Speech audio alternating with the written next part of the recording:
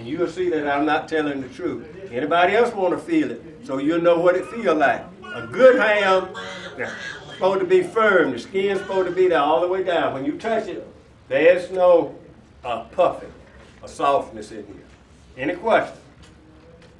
All right. The basic